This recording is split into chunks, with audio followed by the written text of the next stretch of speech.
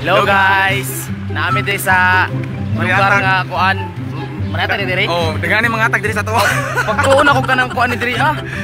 Kanang dampingan. guys, layo-layo kita mo biya guys. Gikan mga goy, niabot mig manata kay nami gibisitahan nga mga amigo nga taga mga goy ni siya Brad. Ah, mga guys, ah ako aning kababata sa mga goy. Nami karon sa Mariatag. So karon padulong mi sila para maniud to. Bye. Amping mo. Dapat dili mo magkuan-kuan kay para madi mo makankuanan. Ano may halawag? Hello? Brad? Oh. Brad, Wala maratag? oh padulong ako Mariatag, bro. Sadali ra mag... Ano man po po an? Ano man po pagkaon mo? Tap, napakain mo amigo diri sus. Ay lagbabag. Oh, sige sige kasugaton ta ka karon. Ano man ka? Brad? Oh, ay. Asa man lagi ka? Dali ra.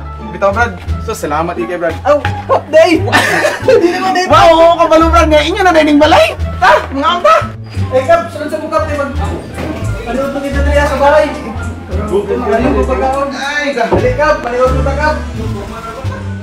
Yan. Kailangan ko rin balik ka mga lagpi ni sudan ba? Indot yun. Oo.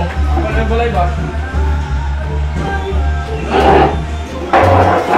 Sumikat bulat na mo lagi ni ka.